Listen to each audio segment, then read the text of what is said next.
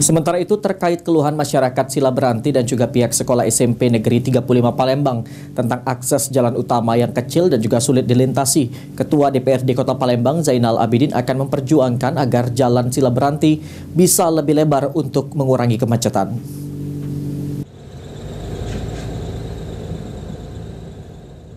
Jalan Sila Beranti Kelurahan 8 Ulu seberang Ulu 1 Palembang sering menjadi keluhan masyarakat karena jalan yang sempit dan juga sulit untuk berlintas dua mobil.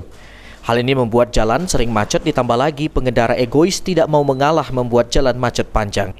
Pantauan Palembang TV di Jalan Sila Beranti ini, kondisi jalan yang mengecil saat pertengahan jalan ada bangunan rumah warga membuat jalan sering macet.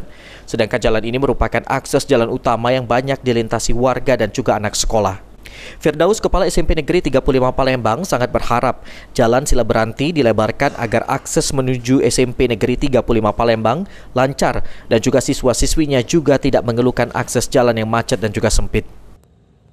SMP 35 sendiri? Ya, sebagai yang dituakan atau pimpinan di sini kami berharap dari dengan kunjungan reses ini SMP 35 mungkin perlu diperhatikan lagi. Yang pertama akses jalan masuk akses masuk ini yang menjadi penghambat animo masyarakat untuk berminat masuk di SMP 35 setiap tahun SMP 35 ini daya tampungnya mungkin tidak terpenuhi. Sehingga karena salah satunya itu pemicunya akses jalan masuk. Sementara itu, Ketua DPRD Kota Palembang Zainal Abidin akan memperjuangkan Jalan Sila Beranti agar bisa lebar untuk mengurangi kemacetan di jalan tersebut. Selain itu, secepatnya Ketua DPRD akan melakukan koordinasi dengan pihak terkait agar segera melakukan proses pelebaran jalan. Sudah tidak memungkinkan karena akses jalan ini cuma bisa dilalui sebagian satu mobil, uh, satu arah. Kita harapkan ada pelebaran eh, tadinya sudah disampaikan oleh Pak Kepsek bahwa itu sudah ada eh, penggantian rugi ya, iya, ya. eh, dengan masyarakat. Ini belum direalisasikan.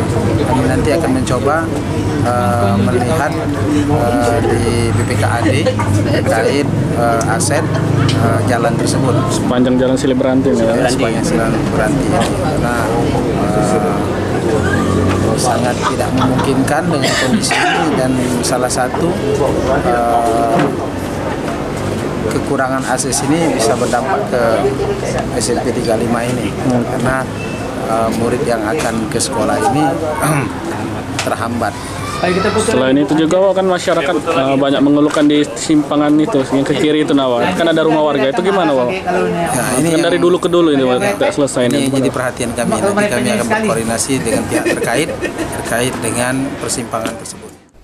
Irawan Pal TV